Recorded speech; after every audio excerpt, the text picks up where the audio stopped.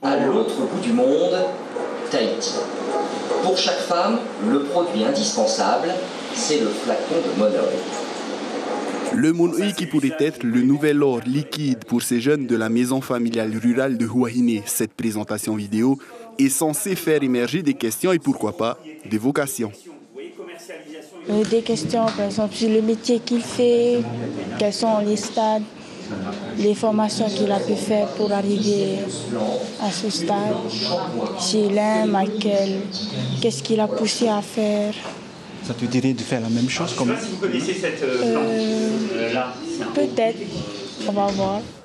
Et après la théorie, place à la pratique. Une déclinaison d'huile de coco parfumée au senteur tropical pour les non-initiés, une opportunité d'avenir pour le chef d'entreprise. J'ai ressenti vraiment de la curiosité parce que bon, la plupart des maisons familiales rurales travaillent l'agriculture, les forment à l'agriculture, mais ils n'ont pas la notion de la transformation ou de la commercialisation ensuite des produits.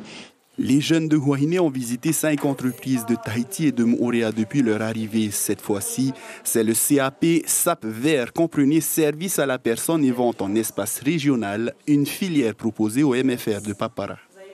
C'est un CAP où euh, on demande deux compétences, donc au niveau du service de la personne et euh, au niveau de la vente en espace rural. Donc, euh, en service à la personne, les élèves travaillent sur tout ce qui touche à la petite enfance, les personnes âgées, les personnes en situation de handicap, les personnes malades. Et en vente, c'est tout ce qui touche à la vente en général. Quoi. Pour la plupart de ces élèves, la MFR est devenue une alternative à un système éducatif qui ne leur convenait pas. Mais à l'issue de leur CAP, c'est-à-dire deux ans, ils pourront intégrer un lycée professionnel conventionnel. L'information en continue sur Polynésie la première, Internet et réseaux sociaux.